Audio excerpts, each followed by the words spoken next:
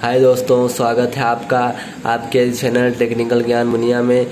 दोस्तों, मैं आज आपको बताने जा रहा हूँ जो कि नए बिगनर होते हैं, उनके लिए दोस्तों एक प्रॉब्लम होती है, जो कीबोर्ड पे ये अपने राइट लेफ़्ट और अप डाउन की जो एरो है दोस्तों कभी कभी क्या होता है दोस्तों, इनमें के स्क्रोल लॉक लग जाता है, जिससे दोस्तों राइट और लेफ़्ट मूव नहीं होते दोस्तों अप डाउन तो ये मूव हो जाते हैं दोस्तों।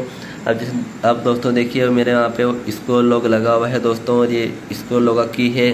अब दोस्तों अगर मैं इसको राइट और लेफ़्ट दोस्तों करूँगा पूरी सीट मूव हो रही है दोस्तों। ये देखिए दोस्तों, पूरी सीट मूव हो रही है दोस्तों। अगर, ये देखिए दोस्तों, पूरी सीट मूव हो रही है।